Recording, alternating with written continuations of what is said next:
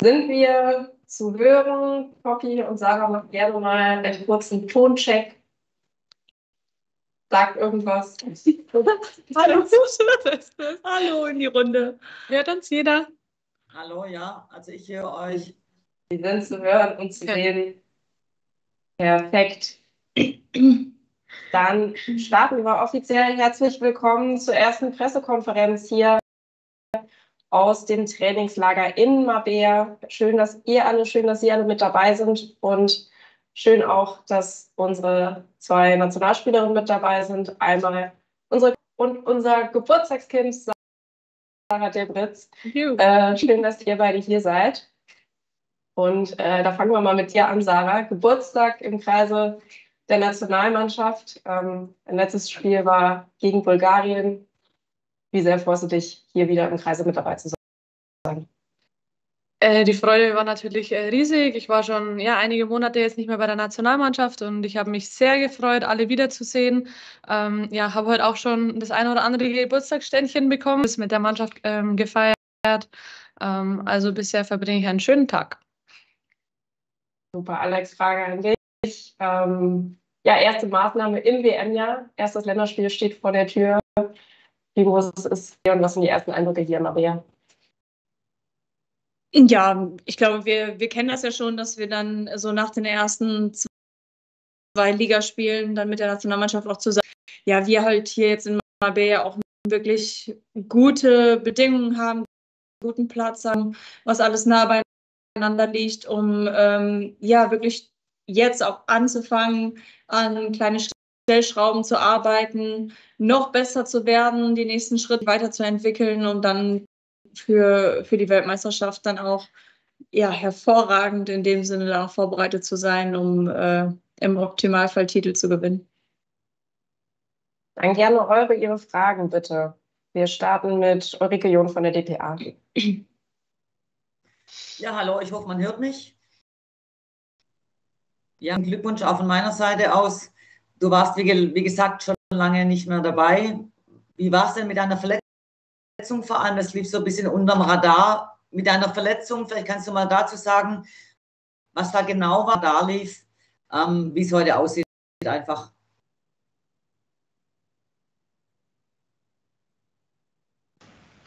Ton, euer Ton ist leider gemutet, Entschuldigung. Danke. Jetzt? Ja. Ähm, also ich wurde am Sprunggelenk operiert. Ähm, äh, meine Bänder wurden quasi äh, neu gemacht und wieder geflickt. äh, kann man so auch sagen. ähm, deswegen ähm, bin ich da ja gute elf Wochen ausgefallen. Bin dann kurz vor der Winterpause wieder ins Mannschaftstraining eingestiegen. Also die Woche vor der Pause war er dann wieder heute hat, eben vor der Pause dann wieder dabei zu sein, wieder ready zu sein. Und dann ging es in die Winterpause und dann ab Januar ähm, ja voll dabei gewesen bei der Mannschaft und auch jetzt ja alle letzten Spiele bestritten. Gunnar Meggers.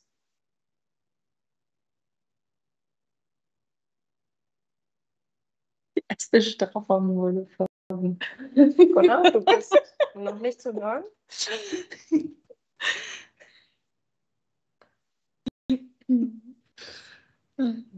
Leider. Gunnar, was ist los mit dir? Tonschwierigkeiten. Leider immer noch nicht, Gunnar. Sonst schreib deine Frage gerne in den Chat und dann ähm, stelle ich sie. Und bis dahin machen wir weiter mit Frage Hellmann. Sarah, ich würde, also erstmal auch Glückwunsch, das gehört sich ja so ne, an dich. Ähm, ich würde auch noch mal eine Frage zu dem Thema Verletzungen stellen. Äh, du hattest ja auch mal einen Kreuzbandriss und es war gerade auf dem DFB-Campus eine große Veranstaltung, ein Medical Symposium, wo die UEFA gesagt hat, eins der Hauptanliegen ist die Häufigkeit der Verletzung des vorderen Kreuzbandes im Frauenfußball in den Griff zu kriegen. Es ist bekannt, dass es 2-3-2 auftritt. Und ihr habt ja mit Jenny, die jetzt zurückkommt, und Julia Gewinn das zweite Mal im Grunde ja auch zwei Fälle, die euch da äh, handicappen. Kannst du noch mal sagen, vielleicht ähm, in Sachen Prävention, machst du jetzt Sachen anders und habt ihr vielleicht im Trainingsalltag ohnehin schon Präventionsübungen eingebaut? Also vielleicht machst du jetzt Sachen vorher, die du für vorher nicht gemacht hast. Wie stellt sich das bei dir dar? Ja, kann ich machen. Also ich glaube, im letzten Jahr war schon auffällig, dass ja sich wieder viele ja, Topspielerinnen auch am vorderen Kreuzband verletzt haben. Ich selbst hatte auch äh, so eine Verletzung, musste mich von ja, einem von einer Kreuzbandverletzung äh, wiederholen. Äh, dementsprechend wichtig ja, sind präventive Übungen, die ich auch jetzt immer noch äh, durchführe vor den Trainingseinheiten, aber auch ja, ein gutes Krafttraining, damit die Muskulatur stabil ist. Ähm, je nachdem, wie die OP aussieht, bei mir wurde was vom äh, hinteren Oberschenkel genommen, ist das natürlich schon auch ein Ansatz, wo man dann immer Muskulatur arbeiten muss. Und ja, deswegen ist da eigentlich auch nie Pause, sondern man macht da vorm Training seine zwei, drei Übungen ja, für, fürs Knie, sage ich mal, oder für die allgemeine Muskulatur. Und ich denke, dass ja, das auch einfach wichtig ist, dass man da vielleicht noch ein bisschen mehr ja, in die Forschung da auch investiert, weil der Frauenkörper einfach auch anders ist wie der männliche Körper, um ja, uns da vielleicht in Zukunft noch besser helfen zu können und ja, solche Verletzungen vielleicht ein bisschen mehr zu vermeiden. Steffen Focke. Ja, schönen guten Tag euch beiden, auch von mir liebe ähm, Geburtstagsgrüße an Sarah. Ich habe aber eine Frage an die Alex und zwar, ähm, ja, die ähm, EM ist ja jetzt verschoben und ihr habt jetzt zwei große Turniere in einem Jahr. Das heißt, der Zeitplan ist ganz schön straff. Der war ja letztes Jahr auch schon straff, weil da habt ihr ja Quali ähm, und Europameisterschaft in einem Jahr gespielt. Ähm, ja, ähm, ist das eher positiv ähm, dass ihr da sozusagen äh, gerade äh, äh, für dich, Alex, dass ihr da äh, mehr Turniere spielen könnt im Zeit, äh, in, in, kürzerer Zeit oder ist das eher ein bisschen zu vollgestopft für euch? Mal davon abgesehen, dass ihr es ja nicht wirklich ändern könnt.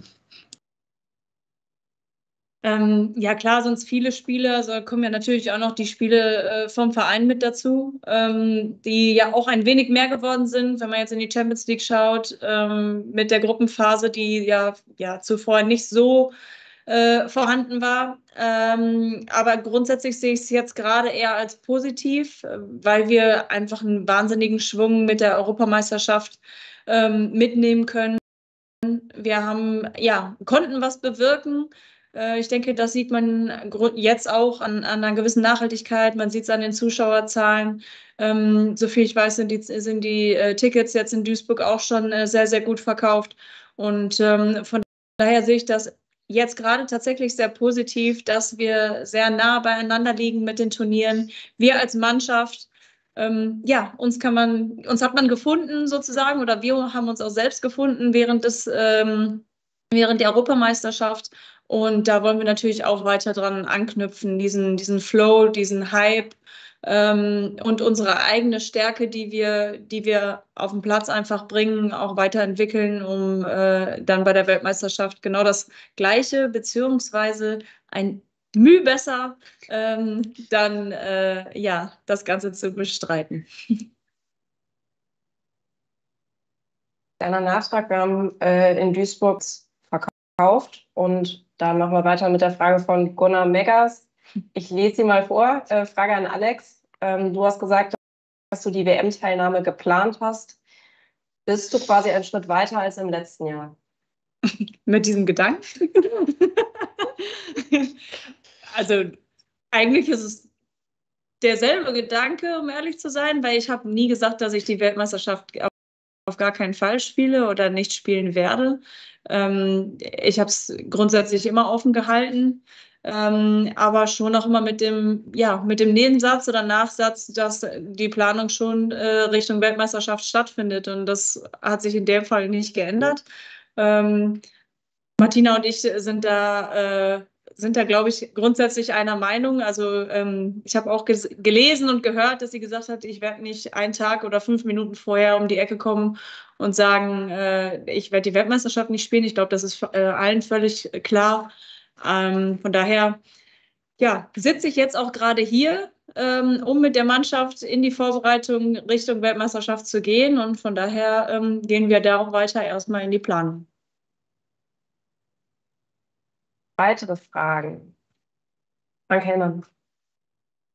Ja, Alex, nochmal vielleicht eine persönliche Frage an dich, wenn man ihn hat. Da gab es eigentlich kaum eine Sendung, in der du nicht aufgetreten bist oder zumindest Bilder von dir äh, über die Mannschaft geflimmert sind, was ja auch äh, berechtigt war, weil ihr einen tollen Erfolg errungen habt. Ähm, aber wie ist das bei dir jetzt? Kannst du eigentlich noch unerkannt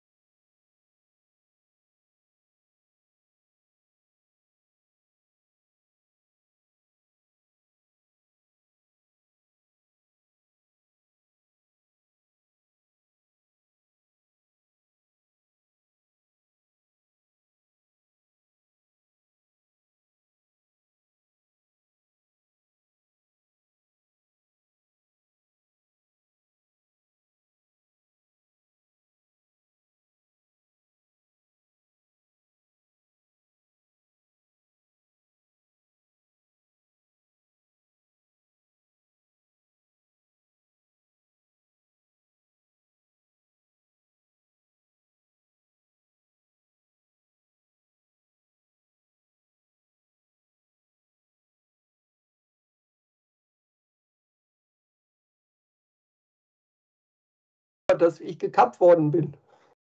Nein, nein, nein, nein, das war sie nicht. Frank, bitte.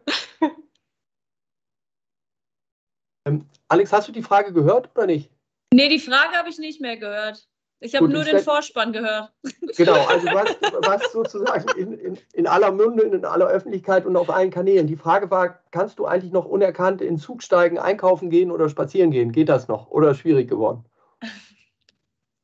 Ähm, das ist tatsächlich schwierig geworden, muss, ich, äh, muss ich gestehen. Also ähm, ja, ist manchmal tatsächlich ein bisschen verrückt. Also gerade wenn ich auch in Großstädten unterwegs bin, das war sonst anders. Äh, wenn ich jetzt mal in Berlin, Hamburg oder so, ähm, da konnte ich ja vor zwei Jahren wirklich noch seelenruhig durch die Gegend laufen.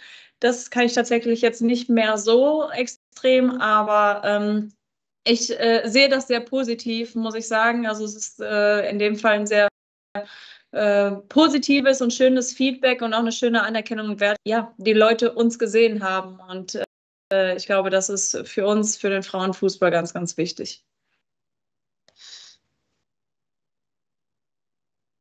Weiter mit Fogge. Ja, auch wenn der Kollege, ähm, ich, ich, weiß nicht, äh, vor mir war, ich, äh, ich gehe jetzt mal gerne mal Richtung Schweden. ähm, euer alter, bekannter Rivale, ähm, alte Rivalinnen, ähm, ein Testspiel auf äh, sehr hohem Niveau, ähm, sind ja auch Halbfinalistinnen gewesen, ähm, die Schwedin. ja, was, äh, was, was wollt ihr in diesem Test ähm, ja einüben eigentlich. Ähm, die Alex hat es ja schon angedeutet, dass es eine, dass es so ein paar Feinheiten zu verbessern gibt. Ich meine, Abläufe gibt es immer zu verbessern im Fußball, aber vielleicht könnt ihr da noch einen äh, weiteren Einblick geben, was ihr da mehr eintrainieren wollt. Danke. Ja, Schweden ist eine absolut klasse Mannschaft in den ganzen letzten Turnieren immer weit gekommen, Finale, Halbfinale.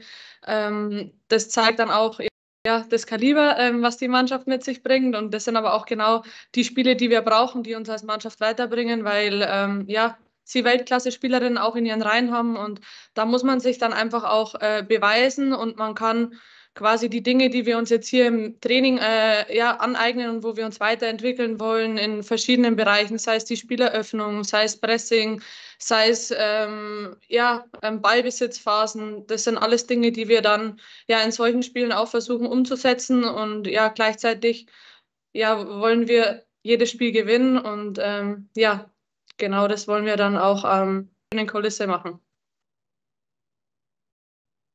Kann ich nicht mehr viel zu sagen. also ich glaube, es ist klar, dass wir natürlich nicht voll in die äh, in die Internas äh, reingehen und jetzt hier alles rausposaunen, was wir äh, uns ja jetzt inhaltlich, äh, taktisch und so weiter antrainieren. Von daher ähm, lasst euch überraschen. Ulrike John. Eine Frage an die Alex Popp nochmal. Ähm, Duisburg ist ja auch was Besonderes für dich wahrscheinlich. Vielleicht kannst du auch mal kurz zurückblicken auf deine Zeit in Duisburg und was es für dich bedeutet, jetzt in Duisburg auch zu spielen und noch quasi ein Jubiläumsspiel wird es ja auch noch.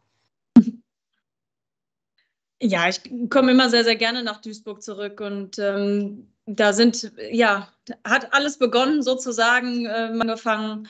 Ähm, ich bin in Duisburg zur Nationalspielerin gewachsen, ähm, habe in Duisburg mein erstes Länderspiel bestritten. Also ähm, ja, mehr Duisburg geht ja fast schon gar nicht mehr. Und wenn man jetzt natürlich äh, nach, ja, oder möglicherweise dem 125. Länderspiel dann auch noch in Duisburg bestreiten darf, dann ähm, ja, ist das, glaube ich, ein, eine runde Sache und freue mich wirklich von meiner Familie, von meinen Freunden da auch schon einige angekündigt haben, die, die das Ganze auch begleiten werden, im Stadion begleiten werden. Und ähm, ja, ich freue mich da einfach sehr drauf. Es war eine besondere Zeit äh, früher in Duisburg, sehr speziell, noch als Außenverteidigerin. Hoffentlich spiele ich da jetzt äh, nächste Woche nicht. Ähm, war ja die gleiche Trainerin.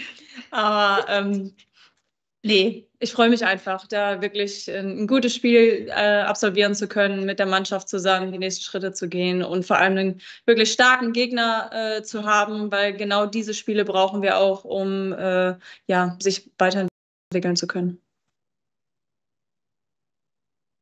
Jana Lange.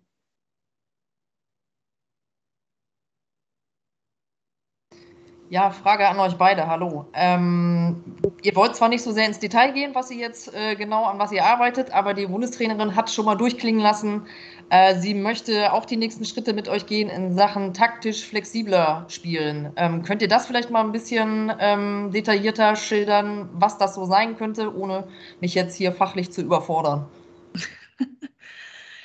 Wenn man so eine Aussage trifft, ähm, könnt ihr euch das wahrscheinlich schon denken, dass wir vielleicht in dem einen oder anderen System ein bisschen flexibler agieren wollen, ähm, angepasster spielen wollen, vielleicht auf den einen oder anderen Gegner. Ähm, in, im Verlaufe eines Spiels vielleicht auch mal ein System äh, zu verändern, dann aber natürlich es nicht einfach zu verändern, sondern auch eine, eine Sicherheit darin zu haben und zu entwickeln. Und ähm, ja, das ist so ein bisschen der Tenor, ohne zu verraten, in welchem System es sich befindet.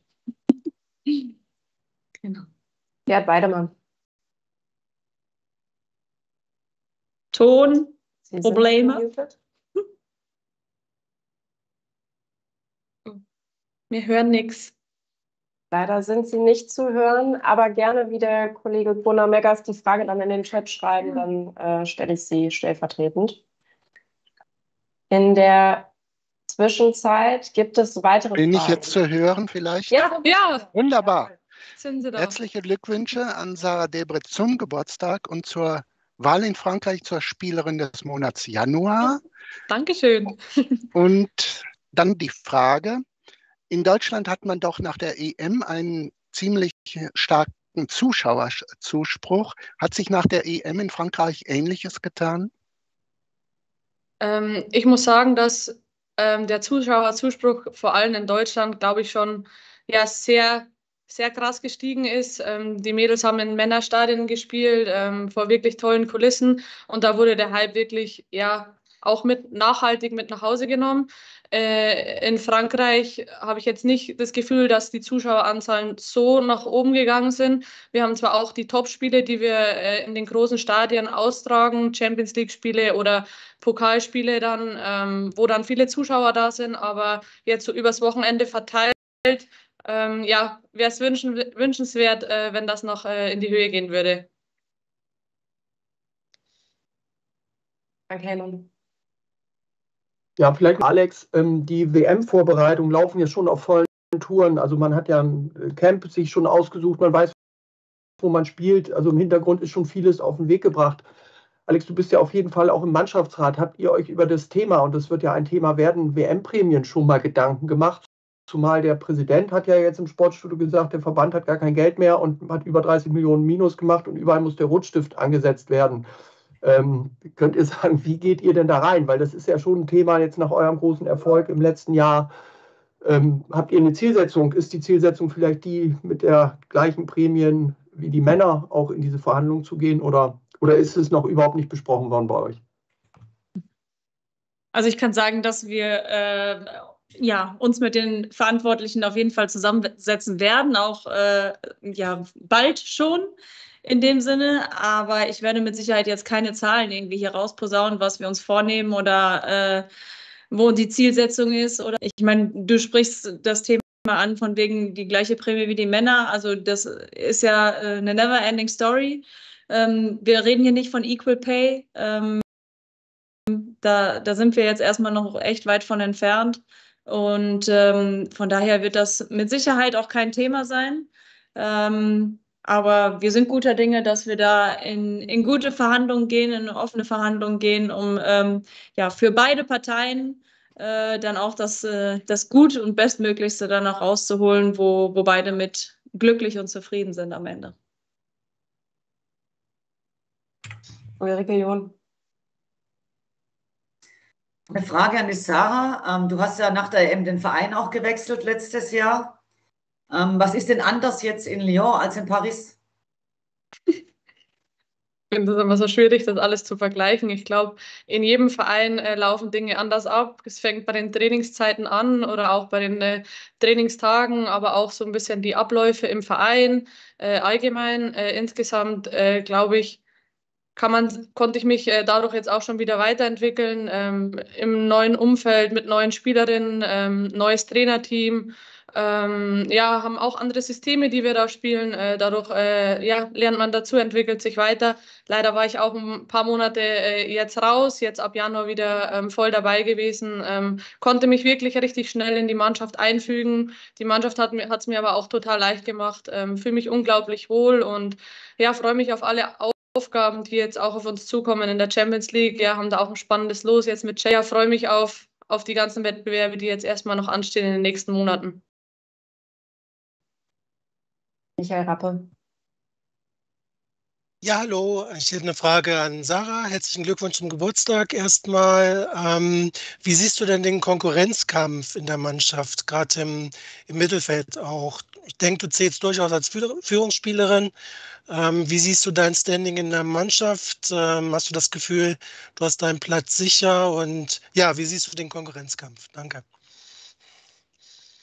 Ähm, wir haben hier einen herausragenden Kader. Die Qualität, die wir hier haben, ist äh, wirklich äh, klasse und total ähm, ja, stark auch in der Breite. Von daher ähm, glaube ich, hat hier niemand einen Platz, sich von Training zu Training auch beweisen, sich in den Spielen zeigen. Ähm, und ich glaube aber genau das bringt uns auch weiter und belebt und ähm, aus einem gesunden Konkurrenzkampf, sage ich mal, weil auf dem Platz jeder das Beste gibt, aber neben dem Platz wir uns als Mannschaft trotzdem ja alle total gut verstehen und wir einen ja unglaublich tollen Teamgeist auch haben und das ist das, was uns auszeichnet. Ähm, und auf dem Platz ist es so, dass äh, ja jeder einfach das Beste gibt und am Ende äh, ist Martina diejenige, ja, die die Aufstellung macht. Steffen Focke nochmal. Oder das Trainerteam. ja, ich stelle jetzt die, äh, die böse Frage, beziehungsweise die schwierige Frage. Ähm, Saudi hat ja große, äh, beziehungsweise der angedachte Sponsor hat große Diskussionen ausge, ausgelöst beim neuseeländischen Verband und auch Alex Morgan hat sich ja dagegen ähm, ausgesprochen, beziehungsweise ihre größten Zweifel geäußert, dass dieser Sponsor im Sinne des Frauenfußballs wäre und dem Geist des Spieles ähm, widerspräche. Ähm, gibt es da innerhalb der Mannschaft Diskussionen? Ähm, ich fürchte, das ist eine Frage für die Kapitänin, die das schon ahnt. Ähm, und wie steht ihr dazu?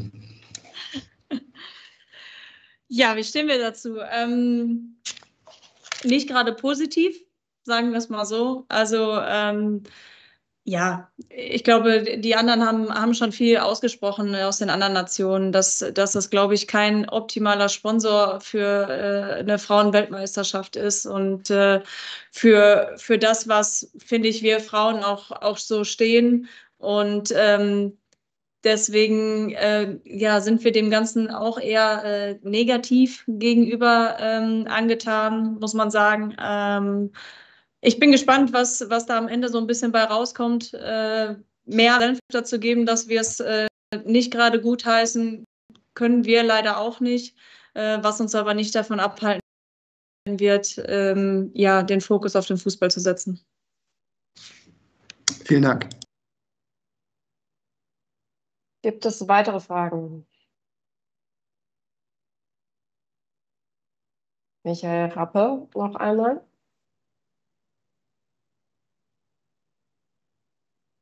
Entschuldigung, ich hatte die Hand nicht runtergenommen. Danke. Okay.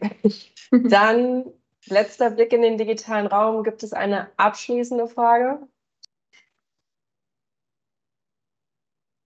Ansonsten beende ich das an der Stelle und danke euch beiden und euch und Ihnen alle für die Teilnahme und wir sehen und hören uns wahrscheinlich morgen.